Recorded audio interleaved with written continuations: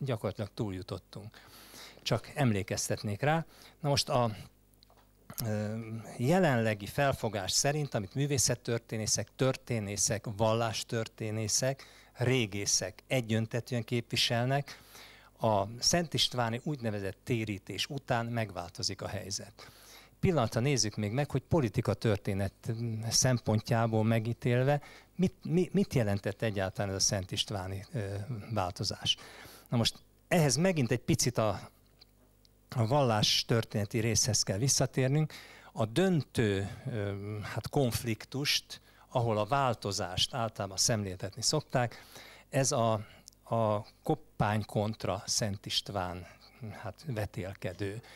Ilyenkor már lehet érezni, hogy valami csúsztatás már történt ugyanis nem ez az egy volt, hanem minimálisan kettő volt, de valójában három nagy konfliktus volt. Ebből kettő nagyjából összevonható, ez az Ajton Gyula féle, mert ez lényegében ugyanazt az orientációt, tehát a Bizánc irányában való orientációt jelentette. Na most, miután ezekről eléggé köztudott, legalábbis Gyuláról egyértelműen és dokumentálta, hogy ő keresztény volt. Tehát nagyon nehéz úgy beállítani, mint hogyha ez keresztény Szent István kontra pogány Gyula küzdelme lett volna. Ezért ezt általában nem is emlegetik. Mintha nem is lett volna, pedig legalább olyan súlyos volt, ha területi hát hogy mondjam, kiterjedését nézzük Erdélynek, és annak a résznek, amely fölött Gyura volt az úr, akkor ez is volt a lényegesebb. Na most a koppányt ezzel szemben egyfolytában úgy minősítik, mintha pogány lett volna. Holott nagyon jól tudják, mert már közzétett adatok szólnak mellette, hogy Koppány ugyanolyan keresztény volt, mint Szent István. De ha megkérdeznék ma mondjuk száz válogatatlan magyar állampolgárt, hogy mit gondol, hogy Koppány keresztény volt, vagy pogány, akkor százból 125 azonnal rávágná, hogy pogány volt. Holott egész pontos adataink vannak róla, hogy nem csak, hogy keresztény volt, hanem alapította területén keresztény templomokat, egész sorozatot. És az sem igaz, hogy csak Somogy ura volt, mert pontosan tudjuk, hogy van Bakonykoppány, van Zalakoppány, és nem ez a kupavár az egyetlen székhely, ezek mind az ő birodalmának voltak, amely egész Dunántúl déli részére kiterjedt, tehát ennek volt ő az ura, még a nevét is meglehetős pontossággal lehetett rekonstruálni. Elmondom, hogy ki rekonstruálta, hogy tudjuk, hol nézhetünk majd utána. Erdélyi Balázsnak hívják az illetőt, és az is jellemző, hogy az egyetlen összefoglaló magyar nyelvű publikáció ebben a témakörben nem is Magyarországon jelent meg, hanem Nagyváradon. Ezt azoknak mondom, akik nagyon el vannak keseredve a határokon túli magyarság sorsa irányában, bizonyos esetekben sokkal jobb helyzetben vannak ők ott, mint mi itt. És ezt időnként jó nekik elmagyarázni. Tehát ez megjelenhetett ott, de nem jelenhetett volna meg itt.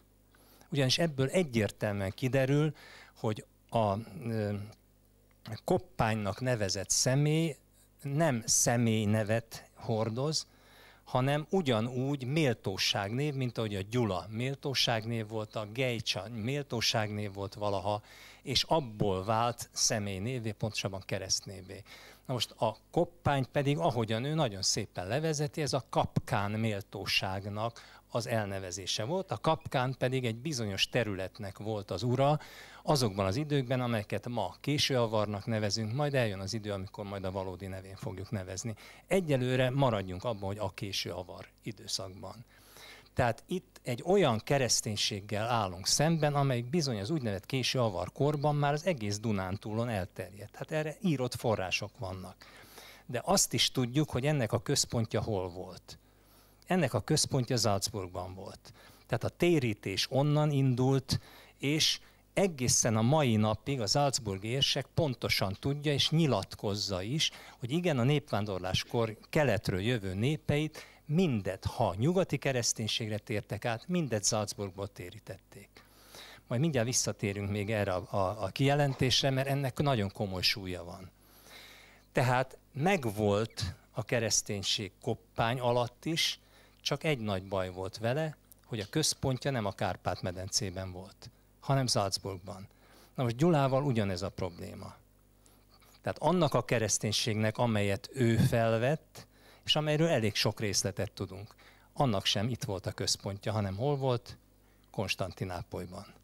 Na most ez mit jelent? Az akkor már erősen széthúzó, még nem szétvált, de már erősen széthúzó keleti és nyugati kereszténység közül Dunántúlt a nyugatihoz kötik le, de a központ kívül van a Kárpát-medencén.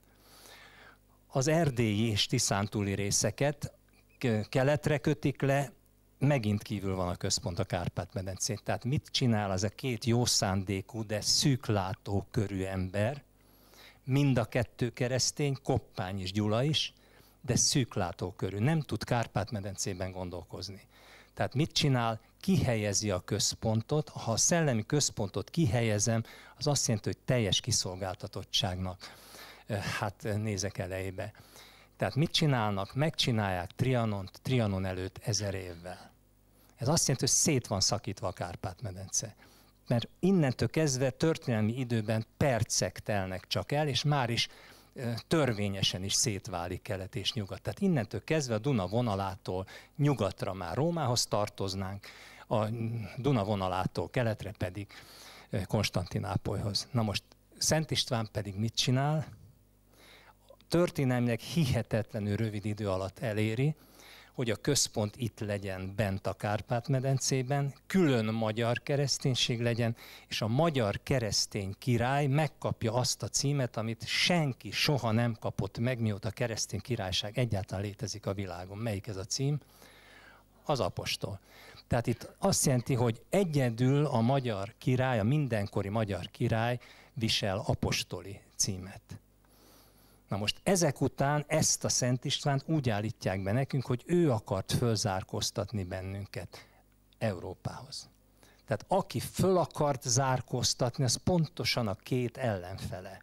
Az egyik nyugat felé, ez a szerencsétlen koppány, a másik kelet felé. Ki volt, aki ezt megakadályozta? Szent István természetesen. Tehát ugyanúgy 180 fokban hazudnak, mint azóta mai napig, holnapig, holnap utánig sajnos elképesztő arcátlansággal, hiszen a tények önmagukért beszélnek, nem kell hozzájuk kommentár. Na most visszatérünk az Salzburg érsekhez, mert említettem, hogy itt egy nagyon lényeges kérdésről van szó. 1996-ban, amikor hát eh, mi centenáriót ünnepeltünk, sok felé jártak riportereink, és érdeklődtek a világban, mit szólnak ehhez, egyáltalán tudnak erről. A többek között az, az akkori Salzburg érsekkel is folyt egy riport. Na most a, a magyar televízió riporter az olyan, amilyen, én hadd ne kommentáljam. Lényeg az, hogy elkezdte kérdezni a, a Salzburg érseket, hogy, hogy hogy volt ezzel a népvándorláskor népei és az Salzburg érsekségnek mi volt a kapcsolata. És akkor mondja a Salzburg érsek, nyilván fölkészült erre az interjúra, azt mondja, igen, a népvándorláskor népeit valóban innen térítettük. Ez volt a feladatunk. Más kérdés, hogy ezt mi időnként kihelyeztük Regensburgba, volt is bizony vetélkedés Regensburg és Salzburg között, de hát Regensburg nem volt érsekség, az püspökség volt. Tehát kihelyeztek bizonyos jogokat, meg feladatokat, de a központ akkor is Salzburg volt.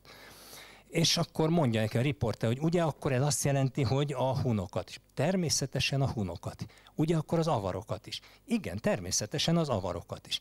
Ugye akkor a magyarokat is. Nem, a magyarokat nem. Hogy, hogy? És erre a Salzburg érsek mondja, ennek az állítólag magyar riporternek a következőt. Azt mondja, a magyarokat nem mi térítettük, a magyarokat Szent István térítette. Nem tudom, érezzük-e? Na most bármilyen furcsán hangzik, ez a tétel, ez Verbőci hármas könyvében is megfogalmazódik.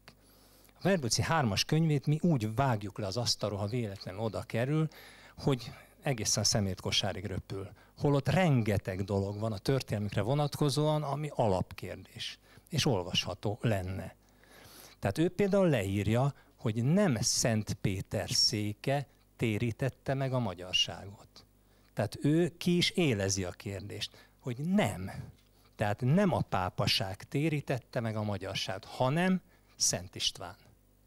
Most ezért kellett bemocskolni Szent István emlékét mert egyértelmű a hiteles hazai hagyományban, és úgy látszik elfelejtették kioktatni az Salzburg érseket, hogy próbáljon mellé beszélni. Nem beszélt mellé, nevén nevezte a kérdést.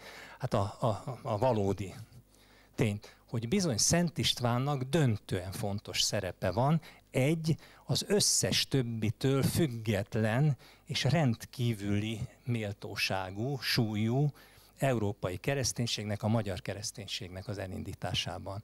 Tehát ebben pontosan ez a jellemző